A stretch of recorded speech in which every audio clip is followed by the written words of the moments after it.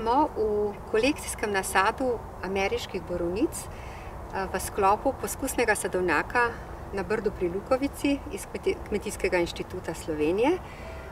Pred nami so ameriške borovnice stare 41 let in borovnice so tiste sadne rastline, ki jih nekako res borovnic lahko predstavimo kot neko vzorčno oziroma model, kako se reže jagodičje. Razlika, osnovna razlika med rezjo dreves in rezjo grma je v tem, da pri drevesu stremimo k temu, da imamo nadzemno krošnjo in steblo, pri jagodičju pa imamo pri grmovnatih rastlinah pa imamo poganjke, več poganjkov, ki izraščajo iz stav. In vsa, ves temelj rezi je pridobivanje čim večjega števila poganjkov, ki izraščajo iz stav.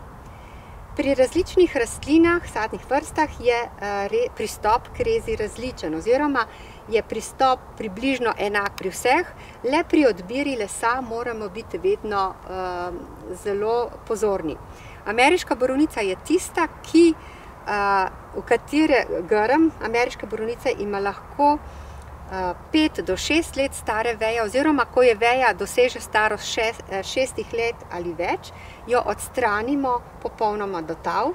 Medtem ko pri črnem ribezu je ta kritična starost tri leta, pri rdečem ribezu štiri leta, pri aroniji tudi tri do štiri leta, pri kosmulji je že tri leta tudi že kar stara veja, seveda odvisno od sorte. K rezi ameriške borovnice predvsem v polni rodnosti pristopimo tako. Pogledamo, katere veje so stare, in opazimo, da je tukaj kar nekaj starih vej, ki jih je potrebno izrezati popolnoma do tal. Pri tem si pomagamo žago, in sicer zato, ker škarje, ki so namenjene rezi jagodičja, imajo zelo široko rezilo, s katerim lahko prizadenemo tudi stranske veje, kar privede potem do kasnejšega odmiranja veje. Se pravi, najprej odrežem stare veje, potem bom pa porezala mlade veje. Od tega grma, ki je pred menoj, moram odstraniti vsaj dvajset procentov dvajset procentov lesa.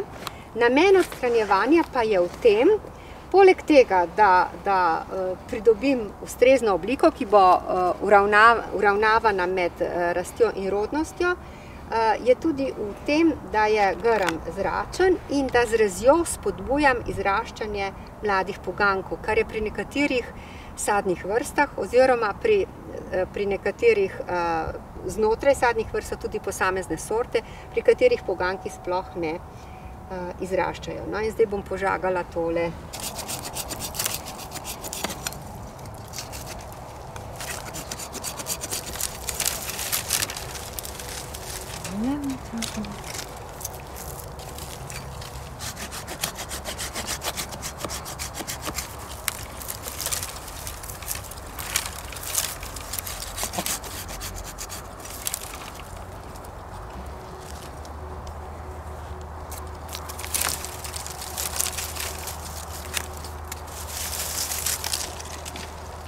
Zdaj prehajamo iz izrezovanja teh drobnih, neperspektivnih enoletnih poganjkov.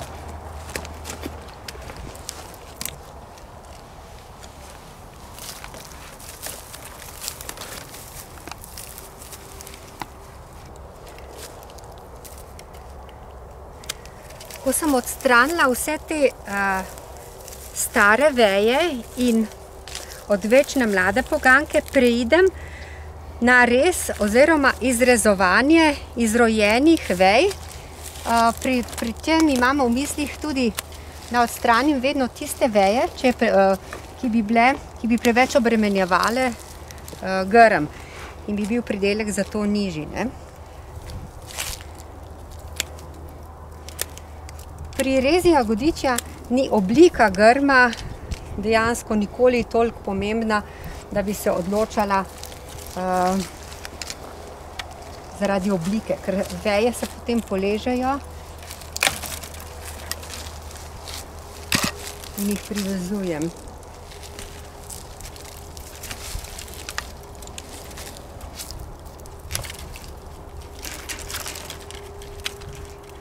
tukaj to je pomembno, ne, da, da prikažem še recimo, kaj je roden les, primeren roden les. To so poganki dolgi od 15 do 30 cm, ki izraščajo iz enoletnega lesa, oziroma iz dvoletnega ali triletnega lesa, lahko je tudi starejši. In če jih primerjam te poganke, to so najbolj rodni, naprimer s temi tukaj, lahko opazimo bistveno razliko.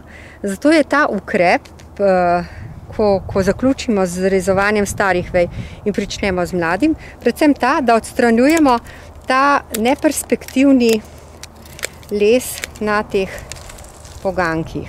Ko rečimo, ko rečimo poganke v, v temle v grmu ameriške borovnice, obenem opravljamo tudi rečenje pridelka.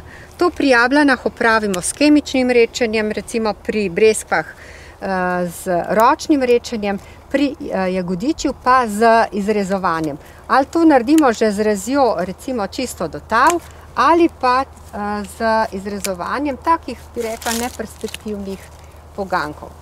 No, še tukaj, aha, to je pomembno, tukaj imamo včasih pri ameriški borovnici take suhe dele, To ni uh, suho zaradi zimske pozebe, bolezni ali česar koli drugega, ampak je to peclevina, kot pri grozdju, peclevina, ki je ostala na grmu in uh, potem tako pač izgleda. Mar se kdo misli, da je to bolezen, ampak ni.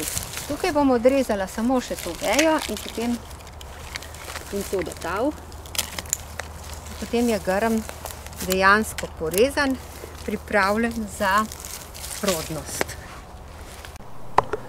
Ameriške borovnice je v nasadu na Brdo pri Lukovici rezala dr. Darinka Koron z Kmetijskega inštituta Slovenije. Dr. Koronova je tudi avtorica knjige z naslovom Gojenje jagodičja, ki je išla pri založbi Kmečki glas. V njej dobite vse informacije o značilnostih, gojenju in tehnoloških ukrepih pri vseh vrst jagodičja.